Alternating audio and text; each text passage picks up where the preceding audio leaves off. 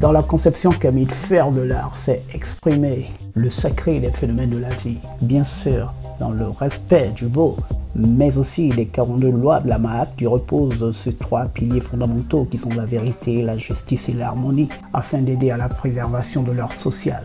Or, j'entends trop souvent autour de moi certains artistes dire non, non, non, je ne vais pas faire de la politique, ça ne m'intéresse pas de me mêler de la politique, gna gna gna gna gna Bah, je suis désolé, il ne s'agit pas de faire de la politique à la place des politicards. Ou non, que dis-je, des politiciens. Ok, je vais y arriver, des politiciens. Il s'agit en tout cas pour moi surtout d'être concerné par mon destin au même titre que des millions d'Africains et d'Afro-descendants dans le monde qui souhaitent de tout leur vœu la libération de l'Afrique. En même temps, c'est la grande mode aujourd'hui d'être anti-impérialiste à petite dose. C'est bien beau, mais il faut rester cohérent. Et la cohérence consiste à ce que tous les Africains se tressent comme un seul homme pour marcher dans le sens du vent de la libération. Et de ce fait, contre l'intervention de la CDAO au Niger.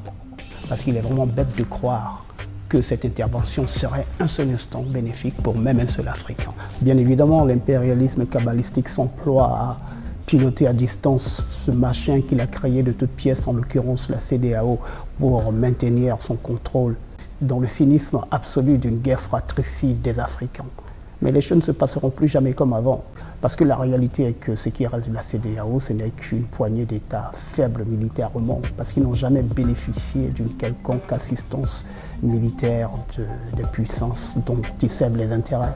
Et ils devront affronter une coalition d'États qui, eux, bénéficient d'une assistance militaire stratégique d'un partenaire de poids, en l'occurrence la Russie, qui, sauf propagande occidentale, tient en respect l'ensemble des pays de l'OTAN, dont la CDAO est sous obédience. Mais il faut aussi comprendre que les marionnettes de la CDAO ne sont pas du tout représentatives des populations de leurs pays respectifs, au vu des circonstances douteuses de leur arrivée au pouvoir et leur politique déceptive.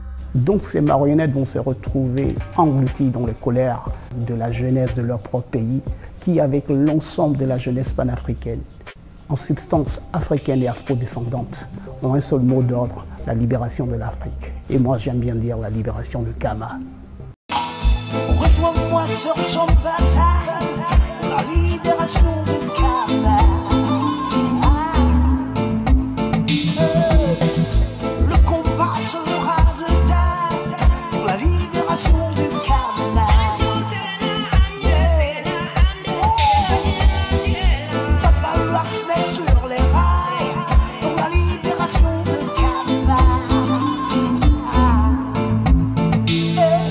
travers le verre autant de tout ça faut passer le film des horreurs de Gaulle.